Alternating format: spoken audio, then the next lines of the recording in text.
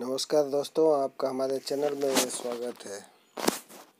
अक्सर देखा गया है कि लोग टैक्स बचाने के लिए बहुत से प्रयास करते हैं और तरह तरह के तरीके अपनाते हैं और जुगाड़ लगाते हैं जिससे उनका टैक्स बच जाए। लेकिन इसी दुनिया में कुछ लोग ऐसे भी हैं जिनका मानना है कि यह टैक्स के पैसों का उपयोग समाज को बेहतर बनाने के लिए किया जाता है। जी हाँ दरअसल हम जिनकी बात कर रहे हैं उनका नाम है बिल गेट्स। बिल गेट्स के बारे में तो हम सब जानते हैं कि वो दुनिया के सबसे अमीर शख्सियतों में से एक हैं।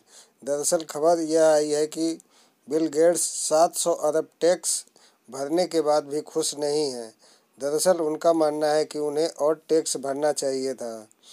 एक अंग्रेज़ी अखबार के, खबर के अनुसार बिल गेट्स ने कहा कि, मैं कानूनों का पालन करते हुए 700 अरब रुपए का टैक्स भरा है। लेकिन मुझे लगता है कि एक जिम्मेदार नागरिक होने के नाते मुझे और टैक्स भरना चाहिए था। गेट्स ने कहा कि किसी राष्ट्र को आगे बढ़ाने के लिए टैक्स बेहद ही ज़रूरी होता है, इसलिए टैक्स सिस्टम को लगातार आगे बढ़ाना चाहिए।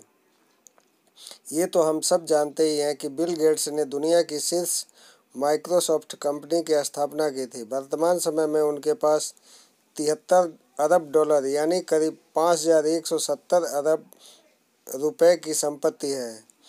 बता दें कि बिल गेट्स अपनी संपत्ति को बच्चों के लिए नहीं छोड़ना चाहते हैं। जी हाँ दरअसल उन्होंने कहा कि ऐसा करना न तो बच्चों के लिए अच्छा होगा और न ही समाज में अच्छा संदेश जाएगा। दरअसल, बिल गेट्स का मानना है कि अपनी और बच्चों की ज़रूरतों को पूरा करने और टैक्स भरने के बाद जितना भी पैसा बचता है, वो सब समाज के अच्छे कामों के लिए है।